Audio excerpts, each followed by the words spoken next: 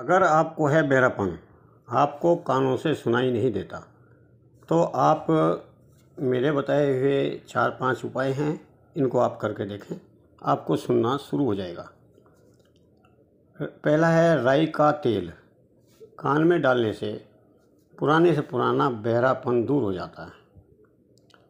दूसरा, आप घर में कर सकते हो, लहसुन की कलियाँ छील करके, वो कलियाँ करीब सात आठ हों और उसमें पचास ग्राम सरसों का तेल ले लें और इसको तेल में पका लें।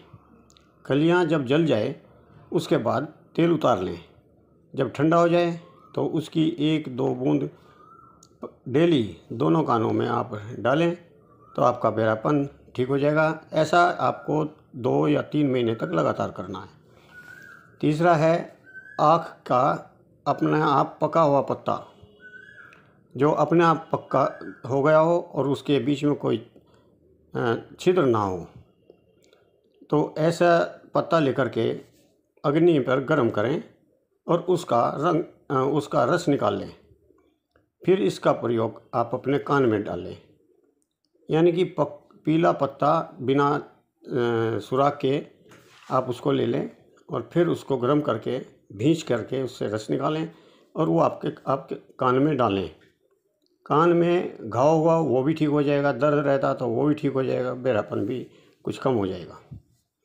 चौथा है, पचास ग्राम बादाम रोगन में पाँच ग्राम कृष्ण विषहर तेल मिला करके, ये आपको मार्केट में मिल सकता है। प्रतिदिन नाक में टपकाने से आपके कान में फ़ायदा होगा। नीम का तेल, ये पांचवा है, नीम का तेल प्रतिदिन कान में डालने से बहरापन दूर हो जाता है।